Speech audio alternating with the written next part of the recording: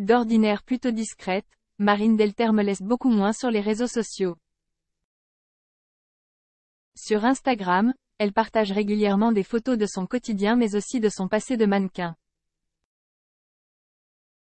Car avant d'être l'actrice réputée Kwon connaît, la jolie rookie n'a posé et même défilé pour de grands noms de la mode. Jeudi 12 octobre, Marine Delter me cesse justement remémorer cette grande période, et plus particulièrement ses débuts. Et pour ses abonnés, elle a remis la main sur son tout premier shooting photo pour une grande marque anglaise. À l'époque, l'actrice avait 17 ans mais avait déjà tout d'une professionnelle.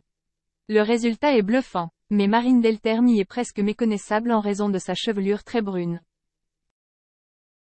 Cette séance est très importante pour moi.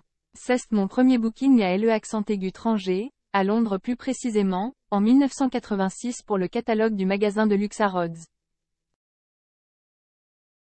C'était le plus beau jour de ma vie, prendre un avion pour Heathrow Airport aux aurores, pour une journée de travail, et réaliser que mon plus grand rêve était en train de se réaliser.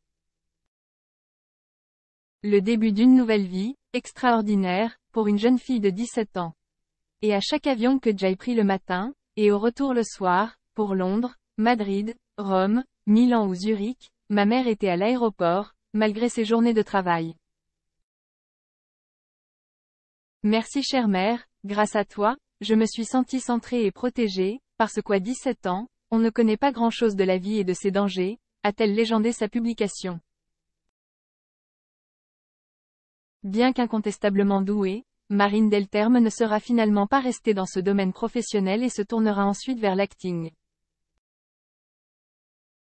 Elle cesse d'abord essayer au cinéma, dans plusieurs longs métrages, La soif de l'or, Le déménagement, L'année Juliette, Tequiero, mais cesse son rôle principal dans la série policière Alice Nevers, Le juge est une femme, qui l'a fait connaître.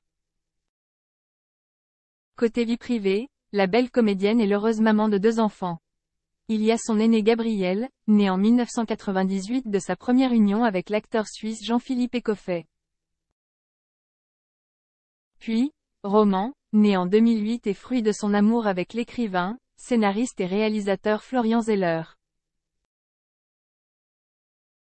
Elle a épousé ce dernier le 5 juin 2010 et ensemble, ils forment toujours un couple aussi soudé, s'affichant régulièrement ensemble lors de grands événements officiels. On les a notamment vus à la Nuit des Molières, la cérémonie des Césars, le Festival de Cannes, le tournoi de Roland Garros et même les Oscars. Florian Zeller y avait remporté l'Oscar du meilleur scénario adapté en 2021.